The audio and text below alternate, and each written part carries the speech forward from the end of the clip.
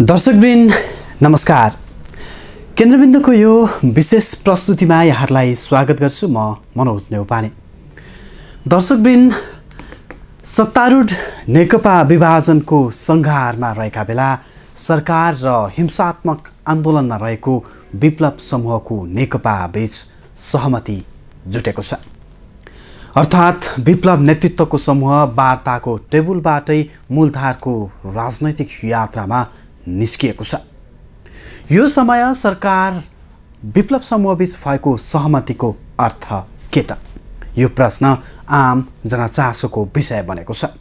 त्यसैले आज हामीले यही विषयलाई केन्द्रमा राखेर विशेष भिडियो रिपोर्ट तयार गरेका छौँ। हाम्रो भिडियो रिपोर्ट कस्तो लाग्छ?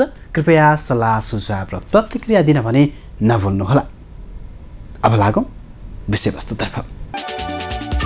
बिहिबार सरकार र हिंसात्मक आन्दोलन गरिरहेको प्रतिबन्धित नेपाल कम्युनिस्ट पार्टी विप्लव समूहबीच सहमति भएपछि राजनीतिक वृत्तमा नयाँ तरङ्ग सृजना भएको छ। फागुन बिस गते बुधबारदेखि सुरु भएको वार्ताले कस्तो परिणाम ल्याउला भन्ने आम नागरिकको उत्सुकता थियो। विप्लव पक्षीय नेता कार्यकर्ताले सामाजिक सञ्जालमा पोस्ट गरेका स्टाटस हेर्दा वार्ता सहमतिमा टुङ्गिन्छ भन्ने अनुमान धेरैको थियो। बिहिबार प्रधानमन्त्री निवास बालुवाटारमा सरकारी वार्ता टोलीका संयोजक गृहमन्त्री रामबहादुर थापा बादल र विप्लव समूहका संयोजक खड्गबहादुर विश्वकर्मा प्रकाण्डले संयुक्त विज्ञप्ति जारी गरी वार्ता सफल भएको औपचारिक जानकारी गराए। विज्ञप्ति अनुसार सरकारले विप्लव समूहमाथि लगाएको प्रतिबन्ध हटाइदिएको छ। पक्राउ परेका विप्लव समूहका नेता कार्यकर्तालाई रिहाई गर्नुका साथै उनीहरूमाथि लगाइएका मुद्दा खारेज गरिने भएको छ। त्यसै गरी विप्लव समूह हिंसात्मक गतिविधि त्याग गरी संसदीय राजनीतिक अभ्यासमा आउन पनि सहमत भएको छ। सत्तारूढ नेकपाको कलह उत्कर्षमा पुगेका बेला विप्लव समूहलाई वार्तामा ल्याउने ओली सरकारको कदमको सबैले स्वागत नै गरेका छन्। ओली र विप्लवले शुक्रबार एउटै मञ्चबाट दिने सन्देशले पक्कै पनि सकारात्मक छाप छोड्ने सबैको अनुमान छ। अब प्रश्न उठ्छ एकाएक विप्लव समूह कसरी शान्तिपूर्ण राजनीतिमा अवतरण गर्यो? यो सहमतिले के अर्थ राख्छ त? विश्लेषकहरूले यस समसामयिक घटनालाई आफ्नै ढङ्गले व्याख्या गरिरहेका छन्। सरकारी वार्ता टोलीका सदस्य एवं प्रधानमन्त्री केपी शर्मा ओलीका परराष्ट्र मामिला सल्लाहकार राजन भट्टराईले विप्लव समूह शान्तिपूर्ण राजनीतिमा आउनुलाई स्वाभाविक प्रक्रियाका रूपमा औल्याएका छन्। हिंसात्मक आन्दोलनमा लागेका समूहलाई वार्ता र संवाद मार्फत राजनीतिको मूल प्रभावमा ल्याउन सरकारले सुरुदेखि नै उच्च प्राथमिकताका साथ काम गर्दै आएको उनको दाबी छ। यसअघि सरकारले छुट्टै मधेस राज्यको माग राखी आन्दोलन गर्दै आएका सिके राउतलाई पनि वार्ताको टेबलमा ल्याएको थियो। सरकारसँगको सहमतिपछि राउत जनमत पार्टी खोलेर मधेसमा सक्रिय राजनीतिमा छन्।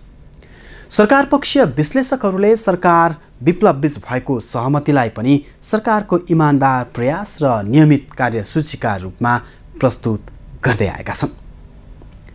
यति हुँदाहुँदै पनि यसको भित्री पाटो भने अलि भिन्न र बेग्लै छ करिब दुई तिहाईको सत्तारूढ नेपाल कम्युनिस्ट पार्टी नेकपा प्रत्यक्ष देखिने गरी दुई गुटमा विभाजित भएको स्थितिमा यो प्रक्रियाले ठुलो अर्थ राख्ने देखिन्छ। गत पुस पाँच गते प्रधानमन्त्री केपी शर्मा ओलीले प्रतिनिधि सभा विघटन गरेपछि पार्टीभित्रकै पुष्पकमल दाहाल प्रचण्ड र माधव कुमार नेपाल समूहले ओली विरुद्ध सशक्त आन्दोलन सुरु गरेको थियो। त्यसपछि पार्टी ओली र प्रचण्ड नेपाल गरी दुई समूहमा कित्ताकाट भयो। प्रचण्ड नेपाल समूहले प्रधानमन्त्री पदबाट ओलीको राजीनामा माग्नुका साथै साधारण सदस्यबाट समेत हटाएको घोषणा गर्यो। ओली समूहले पनि अर्को पक्षका केही नेताहरूलाई जिम्मेवारीबाट हटाएको थियो।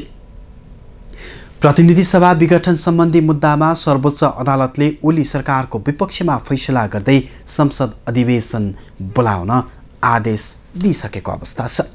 ओलीले केही दिनमै प्रतिनिधि सभामा आफू बहुमतमा रहेको प्रमाणित गर्नुपर्ने हुन्छ। यदि अविश्वासको प्रस्ताव पारित भएमा उनले पदबाट राजीनामा दिनुपर्ने हुन्छ र संविधान अनुसार नयाँ सरकार गठन प्रक्रिया अघि बढ्नेछ। प्रचण्ड नेपाल समूहको चर्को दबाव झेलेका ओली विप्लव समूहसँग तत्कालीन रूपमा राजनीतिक सहकार्य गर्न चाहन्छन्।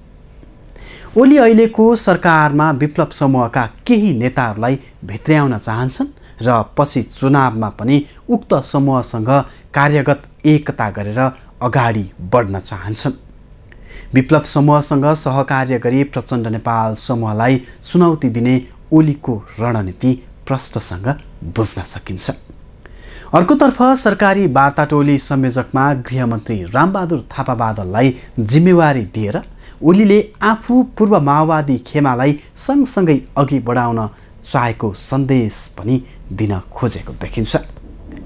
त्यसो त प्रधानमन्त्री ओलीले प्रचण्डको साथ छाडेर आफ्नो समूहमा आएका नेताहरूलाई मन्त्री पद दिएर यसअघि नै व्यवस्थापन भने गरिसकेका छन्।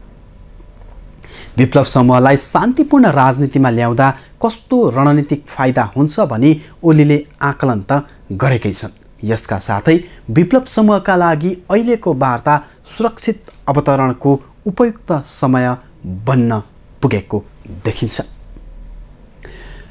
सत्तारूढ दल कलहमा गाँजिएका बेला ओलीसँग आफ्नो बार्गेनिङ पावर बढाउन सक्नेमा विप्लव समूह विश्वस्त छ। स्रोतका अनुसार आवश्यक परेमा विप्लव समूह सरकारमा जान पनि तयार छ।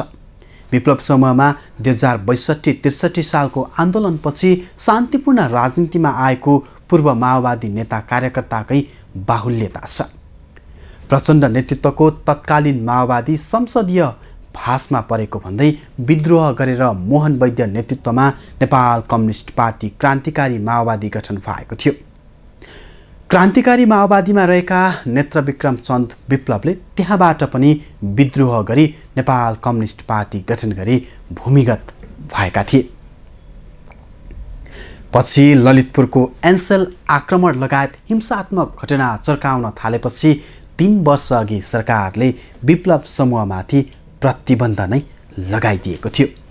त्यसपछि सुरक्षाकर्मीले विप्लव समूहमाथि खानतलासी र कारवाही तीव्र पार्दा हेमन्त प्रकाश ओली सुदर्शन लगायत उच्च नेताहरू पक्राउ परेका थिए। यस अवधिमा प्रहरीसँगको भिडन्तमा विप्लव समूहका करिब आधा दर्जन नेता कार्यकर्ता मारिएका छन्।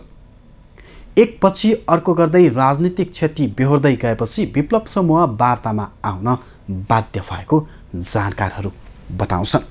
पार्टीभित्र गुटको झगडाले असहज अवस्था भोगेका ओलीले विप्लव समूहलाई वार्तामा ल्याएर यसको जस्त लिन खोजेका छन् नै। उनलाई राजनीतिक खेलमा केही मात्रामा भए पनि शक्ति सञ्चयमा आश पलाएको पनि अब बुझ्न सकिन्छ। निरन्तर नोक्सानी सहँदै आएको विप्लव समूहका लागि पनि वार्ताको अफर फलिफाप सिद्ध भएको छ।